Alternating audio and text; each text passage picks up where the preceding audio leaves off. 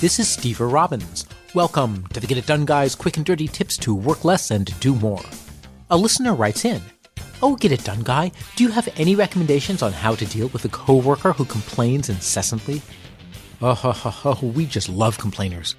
No, we don't. We hate complainers. They're always complaining, and we don't like their clothes. And they put two spaces after a period, even when they're typing in a proportional spaced font. And their children. Oi, my goodness. You know how every baby is automatically cute?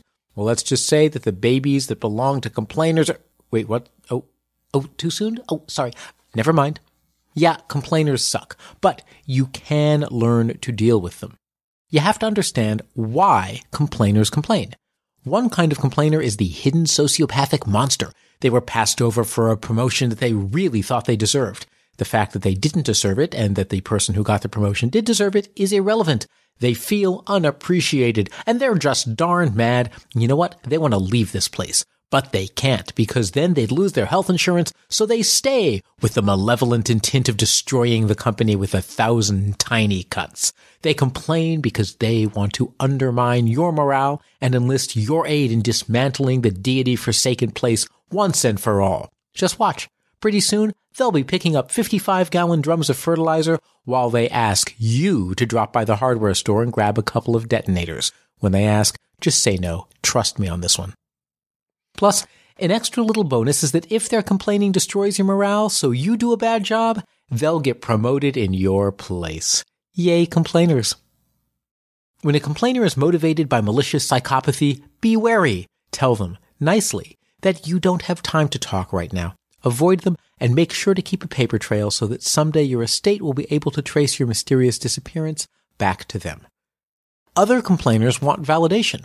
Not all complainers are evil demons from heck bent on destroying the world around them. Many just want validation. The things they complain about are genuinely problems for them, and they complain because they want your agreement to know that they're not being unreasonable. The way the new programmer relieves the lid to the M&M's jar half off drives me crazy, right? Don't you think so too? Like, they should be fired for such irresponsible behavior, right? Right? Don't you agree, right? Now your response when someone needs validation is a bit tricky. If you buy into their narrative too much, they'll keep coming back for more validation for their next set of gripes. I think birds fly way too much. I mean, they clutter up the sky and probably pose a danger to helicopters. Don't you think so too? Like, they should be exterminated for such irresponsible behavior. Don't you agree, huh? Look them straight in the eye and say sincerely, That sounds really upsetting. Do you want advice or do you just need to vent? Now, what you're doing here is validating their feelings without necessarily agreeing to the specifics. You're also sneakily naming what's going on, that they're venting, and you're even giving them the option of telling you how to deal with them. If they just need to vent, look them straight in the eye and say sympathetically, you know, that sounds really horrible. Tell me about it. And then listen quietly until they run out of steam. Not occasionally, but just empathize. Don't agree, don't discuss, don't multitask. Just nod and listen with your full attention. After a few minutes, they'll start to realize that they're just sitting there venting and they'll begin to run out of steam. If they then switch to asking for advice, or if they just wanted the advice in the first place, just say, I find that my best course of action comes from the serenity prayer. Change the things I can and accept the things I can't. You see, you've exhausted their emotional spewing by simply listening with full attention. And then you've given them advice that basically amounts to saying, Welcome to life, baby. You get to suck it up like the rest of us. In any event, if they try to complain some more, now you can gently ask, do you want to do the work to change that, or do you want to do the work to accept it? Now you've shifted the responsibility for their misery squarely onto their shoulders. Complainers generally complain about stuff that they perceive as out of their control, and once it's in their control, they might have to do something about it. So after this little maneuver, they probably won't stick around to explore how they can take back responsibility for their own life.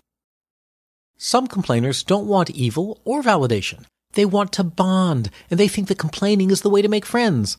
Now, if you've got this kind of complainers, just be upfront with them. You know what? I'd like to be friendly and have some good conversation, and I find that complaining kind of shuts me down, though. Could we talk about what's going right in our lives? What did you like about Rogue One? Once again, you're naming their behavior and then you're delivering it in the context of saying that sure, you'll be friendly as a person and you want to engage. If they really want to bond, they just might go along with your request.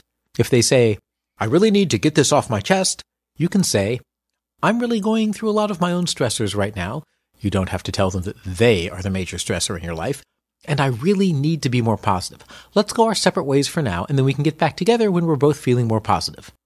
Will this work? Maybe, maybe not. But you've called out their behavior without blaming them. You've made it clear that you are willing to hang out if they're more positive, and if they now decide to add you to the list of things to complain about, you can be proud.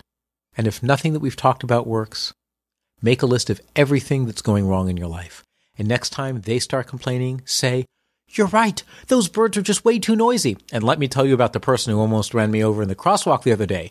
And then just commiserate to your heart's content. Don't pause for breath, just keep going. Nicely, courteously, and relentlessly. And what about politicians these days? They wear way too many suits. Speaking of which, what's up with playing cards? Am I the only one who thinks that clubs is a stupid looking suit? Since what they're looking for is a chance for them to talk, they will pretty quickly get bored and leave. Hopefully they'll also get the message, though you really have to be careful they don't realize you're trying to outcomplain them. You need to sound sincere and like you're bonding, just like superglue. If you want to deal with a complainer and you can't simply have them exiled to a desert island, validate their feelings, but don't engage with their actual narratives. Listen intently until they run out of steam and then put responsibility back in their hands by asking them how they would like you to respond. You can also just tell them straight out that you want to engage around happier topics, and if all else fails, be prepared to outcomplain them.